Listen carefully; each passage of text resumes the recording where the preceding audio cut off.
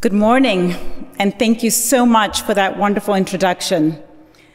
President of BYU, faculty, the um, hosts and academics who have invited me to be here, administration, old family who are not here but watching, I hope, and from Africa, and new family, the Smith family who are here in the audience. Thank you so much for all your love and support. It feels very much like a homecoming for me being here at BYU. My father-in-law, Scott Smith, taught here for 30 years. I have numerous brothers-in-law and sisters-in-law, as well as three nieces who have been students, one of whom is still a student here today. But I should say that it's not just the, the fact that I am now affiliated very recently to the Smith family, but also over many decades growing up in Africa, the reputation of BYU is something that has stood out. As was mentioned in the introduction, I was born and raised in Zambia, Southern Africa, one of the poorest countries in the world. Zambia, then known as Northern Rhodesia, was a British colony. Today, the country has 17 million people and 50% of the population is under the age of 15 years old. Zambia is a copper exporter. Approximately 70% of the earnings that come through foreign exchange are through copper, mainly exported to China. I was born in Zambia and I was raised as a Presbyterian, and I'm sure you can tell I attended Catholic boarding school. Throughout my life, I did not realize until I was a college student that I did not have a birth certificate. Because at the time of my birth in 1969 in Zambia, birth certificates were not issued to black people. That law changed in 1973. You might be saying to yourself, well, what has that got to do with education, which is the theme of the topic um, of this devotional and for this period of the semester. And the truth is, it has a lot to do with it. I know, I know, you're asking yourselves, how does a girl from a landlocked part of Africa, a small country, find herself not just speaking at BYU, but married to somebody who was born and raised, or actually just raised in Provo, um, right here around the corner?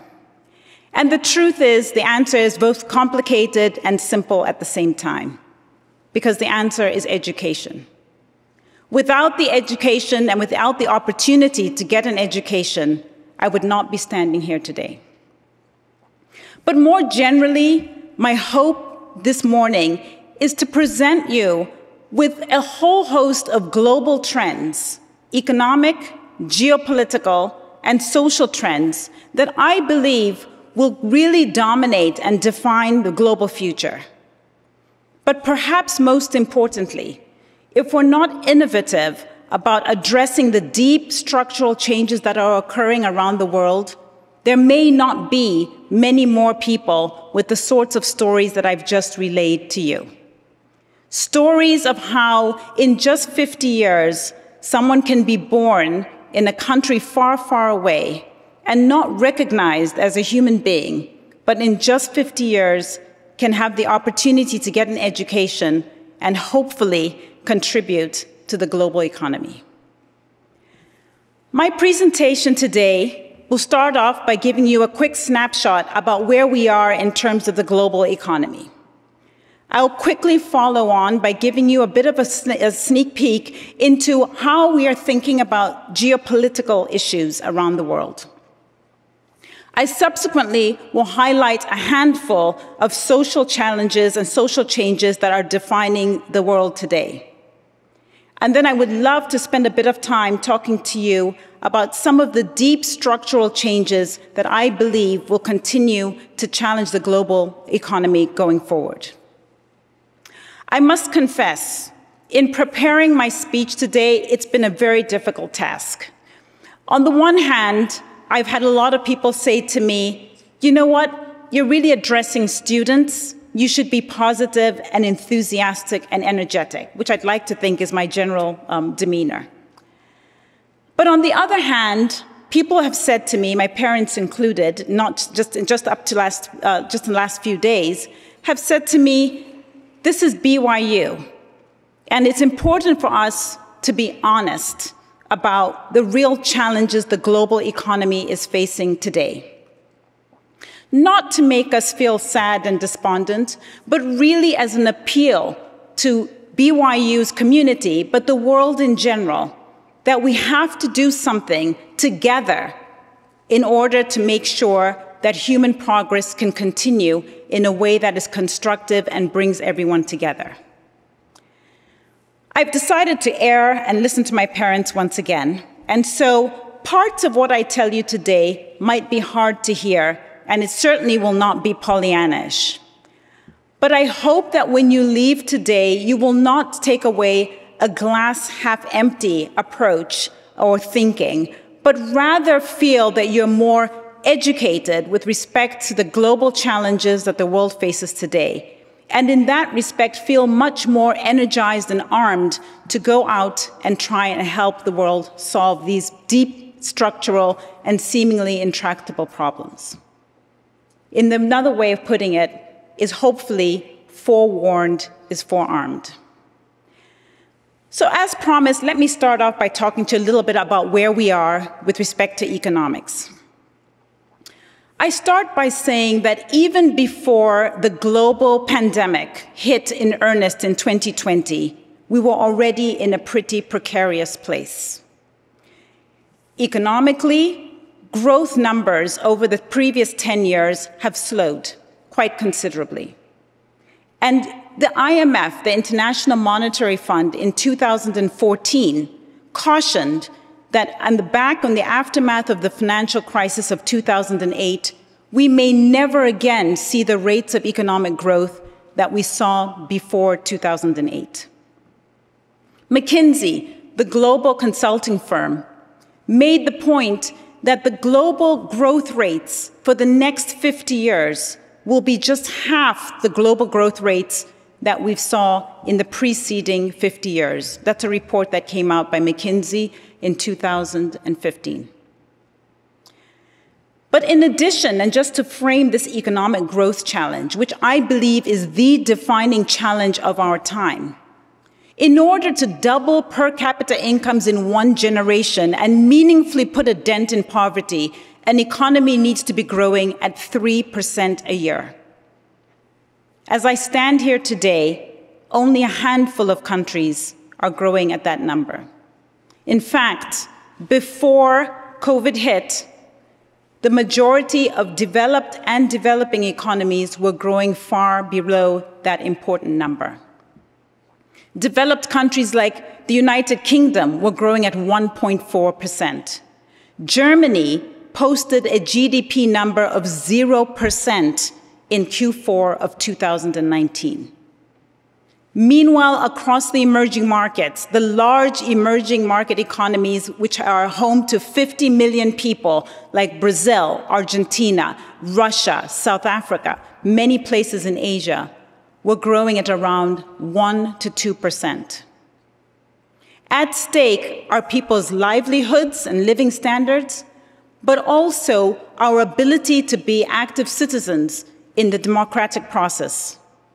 And more than that, if we're not able to increase the GDP pie and continue to pursue economic growth, our ability to create jobs, but also to enhance education and healthcare and to solve climate change becomes materially impacted. Now, if I haven't managed to depress you enough, I'd like to talk to you a little bit about the, the political environment. Now, I'm not going to get into US politics or us versus them. I think really what we need to take away are some of the big geopolitical themes that are creating a lot of consternation and concern. So, for instance, Martin Dempsey, who was the head of the Joint Chief of Staffs in the United States, basically has called this period the most dangerous period over his 50 year career. He's partly attributed this to the rise in terrorism around the world, but also the fact that the United States and Western society now has a rival economically and politically in the form of China, whose ideological, economic, and political beliefs are completely different to ours. Our ability to solve the big challenges that we're dealing with around the world means we've got to get across that proverbial divide and the aisle that separates people who have different views and ideological positions. But beyond the issues of ideology, which I'll come to again later, there were other political issues that were quite worrisome. Across many uh, uh, democratic societies, there's been a clear lack of interest with voter participation declining. Here in the United States, low income households have just a 30% participation rate in the political process. And furthermore, Freedom House, which is a think tank in Washington, D.C., has said there's been such a lack of focus on democracy that today 70% of the democracies in the world are illiberal and actually indistinguishable from authoritarian states.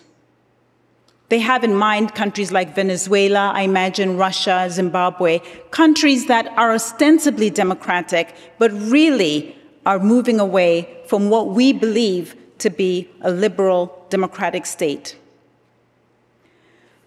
Let me move on very briefly to the question of social issues and trends that are governing the global economy. Of course, with respect to infrastructure, which is the backbone of economic success, the American Civil Engineers Survey, which comes out once every three years, has graded America's infrastructure, roads, railways, airports, bridges, etc., a D plus. Now, you might think to yourself, well, what do you care? This is just about uh, America. But it's not. America's success or failure actually defines where the world goes next.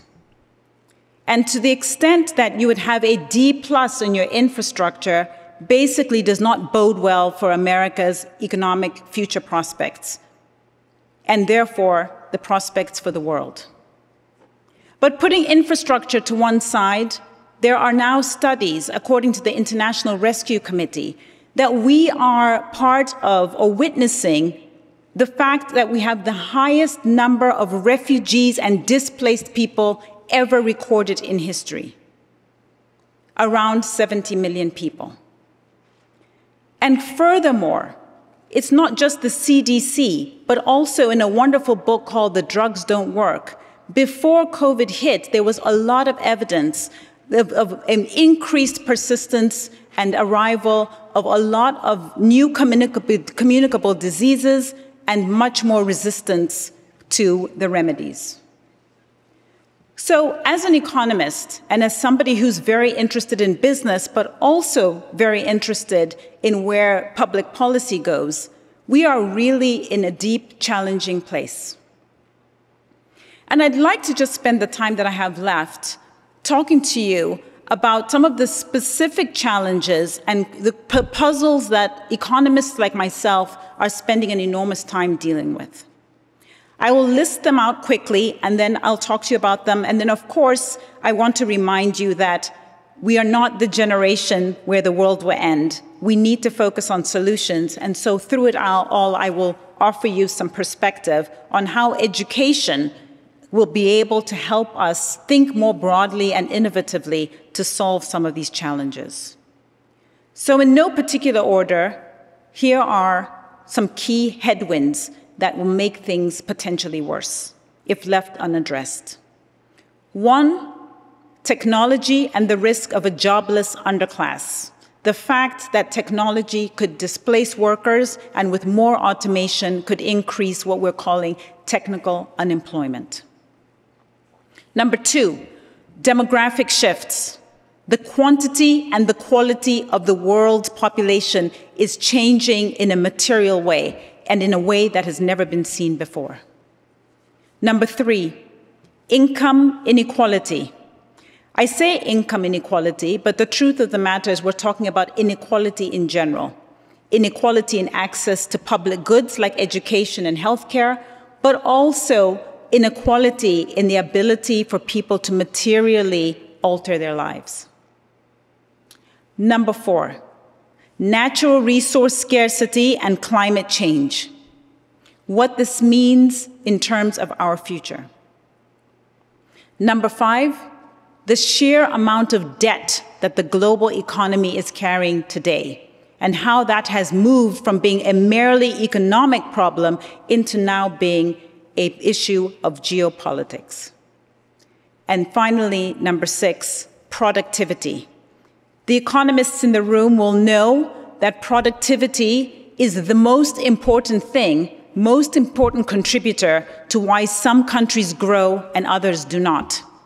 One of the biggest puzzles that we're dealing with right now as economists and public policymakers is why is productivity, the idea of how much each of us contributes to GDP, declining at precisely the time that technology has taken off. Once I've concluded these six items, I will spend a bit of time giving you some solutions and some hope for the future.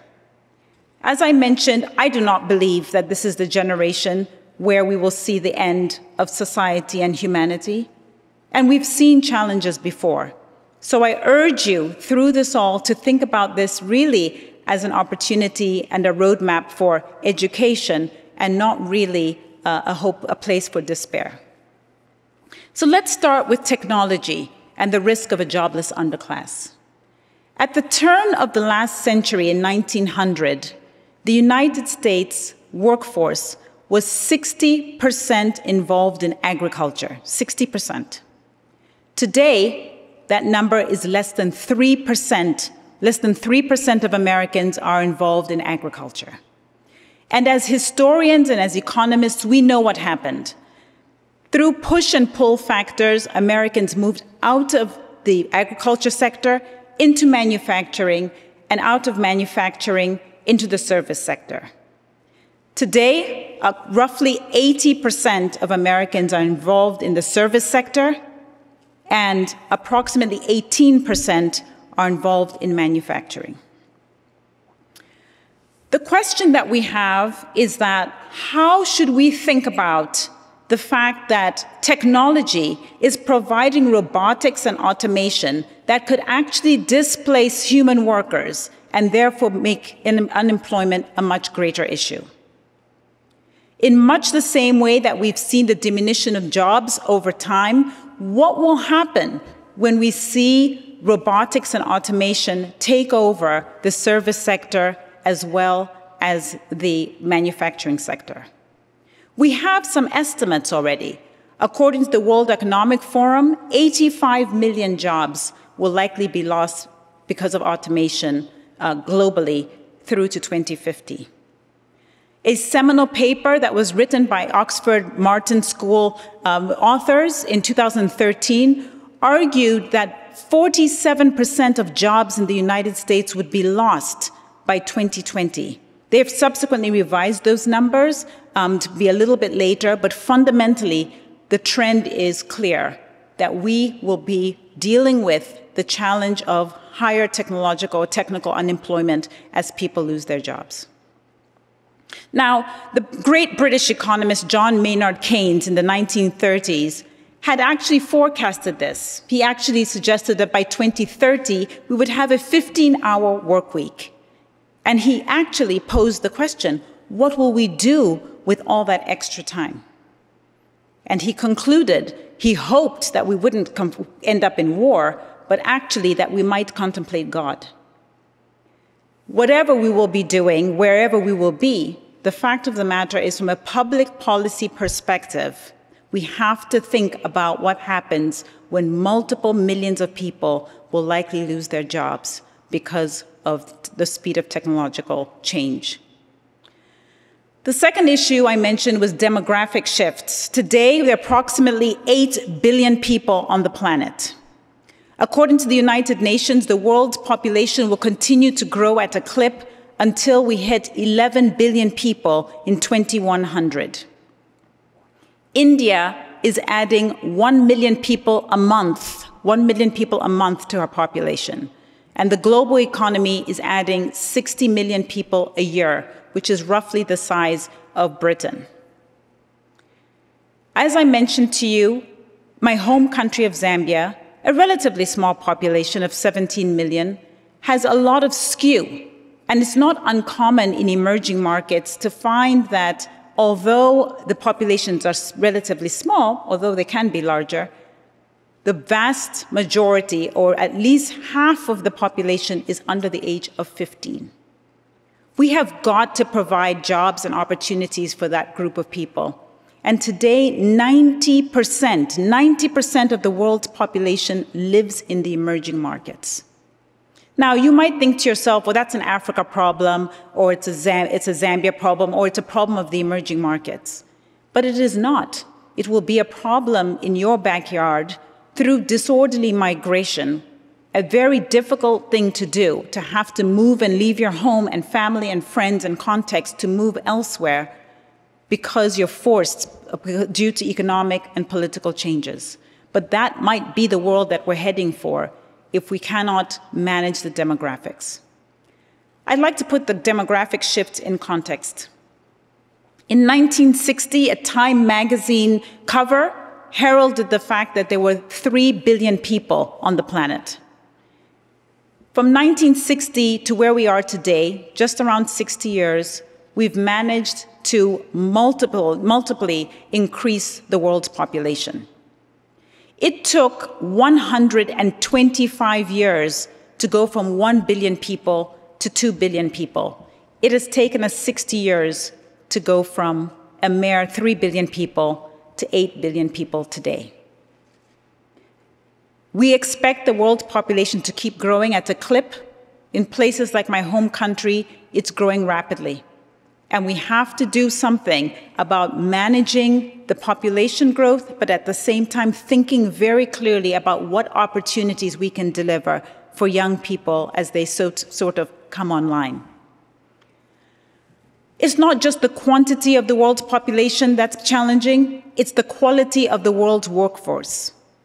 According to the OECD, the Organization of Economic Cooperation and Development, a study that they put out not too long ago, this generation of Americans, for the first time in the history of this country since 1776, will be less educated than the preceding generation. A survey of mathematics, science, and reading that comes out every three to five years by the OECD called the PISA study, the Program for International Student Assessment, has concluded that the United States, which used to be the number one, number two, number three in these subjects, mathematics and science, etc., is now in the bottom ranks, number 27 and 28 and 29. This is simply not good enough. It's not good enough for the United States, and it's not good enough for the rest of the world. As you can see, even in this live experiment that we've just witnessed with the development of the vaccine, the world is heavily depending on the United States to get it right. So we've got to actually make sure we invest in education. We also have to think about the deep concern that was highlighted most clearly in a McKinsey report a number of years ago that the underinvestment in education of blacks and Latinos in the United States is so damaging that it could put the United States in a permanent economic recession by 2050. At a time when there's a massive pushback against immigration, you have to think very strategically about how an economy like the United States can possibly think that it can function and compete longer term when we're underinvesting in its own citizens.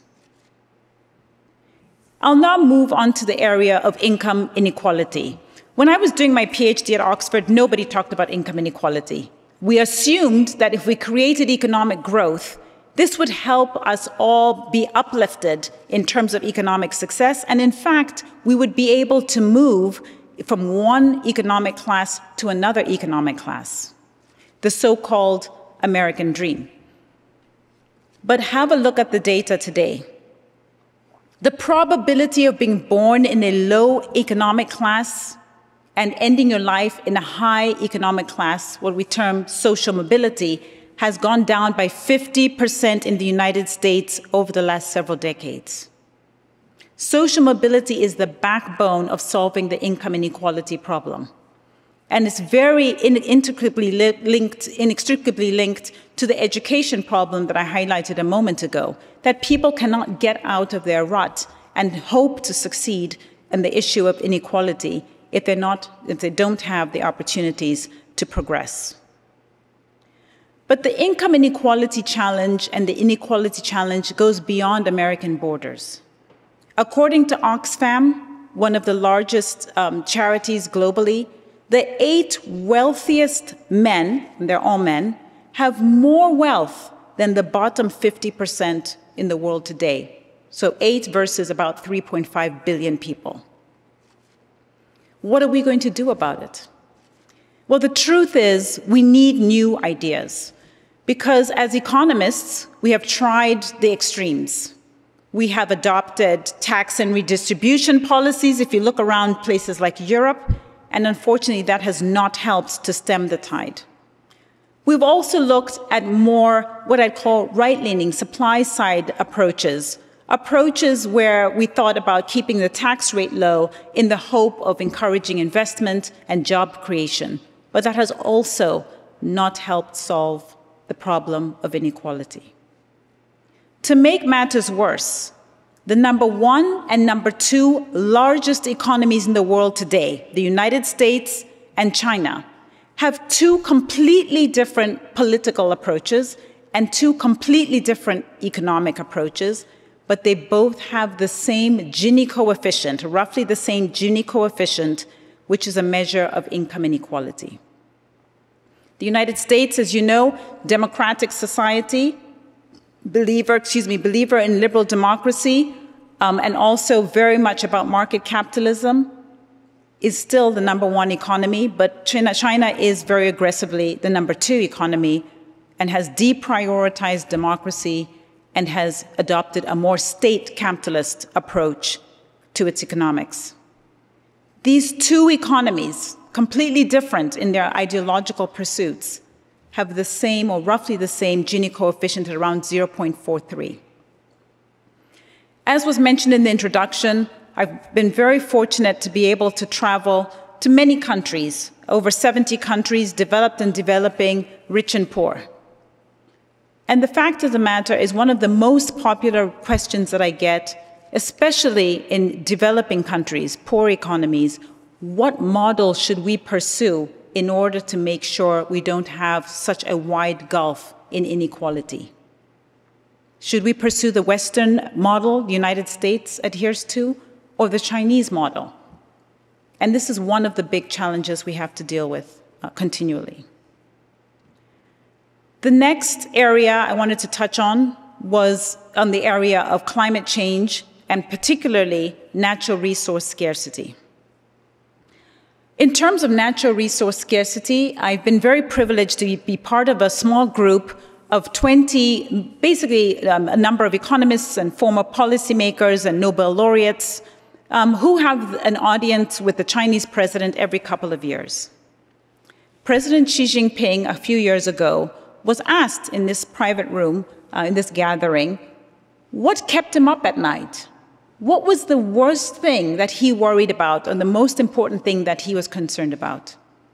And in that meeting, President Xi Jinping said it was natural resource scarcity. That somehow over time we have convinced the world's population that they can all live at the living standards of the average American. And yet, we were facing a decline in natural resources, arable land, potable water, energy, and minerals. So that demand, because of growing populations and urbanization, and just the sheer improvement in living standards in the emerging market, would not be matched by the natural resource scarcity um, challenges that I just mentioned. But quickly moving on to that fundamental challenge, because some of you will probably be thinking to yourself, we've heard this before. 1700s, Malthus had mentioned that there would be natural resource scarcity because of population growth. We had that same concern in the 1970s when the Club of Rome also said we should be worried about natural resource scarcity. And of course, more recently, peak oil theories are people's concern about the, the, diminution and the decline of natural resources and how we'll be able to feed and support our world's population. But the truth of the matter is we've looked at those problems and we've been bailed out by technology. So there's a great hope that technology could do that again. But at the same time, we are confronting the issue of climate change. Now, the truth is about climate change, I think I would say I'd be hard pressed to find somebody who doesn't at least say, you know what, I think we might have questions about the timing, we might have questions about the extent, but fundamentally, we largely, by and large, agree that there's something going on with humans creating or contributing to the heating of the earth. I come from a region of the world where there are millions of people who do not have access to energy in a cost effective and reliable way. In fact, according to estimates, 1.5 billion people around the world do not have energy in a way that they can sustain themselves, certainly not in a world of Zoom calls that we've become so reliant on. I had the privilege of taking some of my new Smith family to Zambia with me um, also to South Africa, which is a middle income country, and they saw firsthand the challenges of brownouts or the reduction or the shutting down of energy. In order to combat climate change, we can't leave those people behind. This goes back to the opportunity for education and to transform people's lives over a period of time in a way that's meaningful and to pursue human progress. We simply will not be able to do that without bringing everybody to the table to help address climate change. I can assure you, as somebody who serves on the board of a large energy company, we're doing everything in our capacity. We're investing in renewables like solar and wind and biothermal and geothermal, and biomass, as well as um, areas of nuclear generation four and a whole host of other new efforts to make sure that we can satiate the global demand for energy. But this is not a problem that's going away anytime soon, and we need new ideas and new innovation. I'll move on to the last two items very quickly. One is debt, and the other is productivity. Now, debt is an interesting one because before we had COVID, again, 2020, Every class of debt in the United States government debt, household debt, corporate debt, credit card debt, auto loan debt, and student loans were all each $1 trillion separately for each class. This is unsustainable, especially in an era of slow, low, and no economic growth. Today, 14% of American companies are what are called zombie companies. Companies who, whose cash flows are not enough to cover just the interest payment on the debt that they owe. But as I mentioned to you in my preamble, the problem of debt has moved from just being an economic one into now a geopolitical one. China is the largest foreign lender to the American government.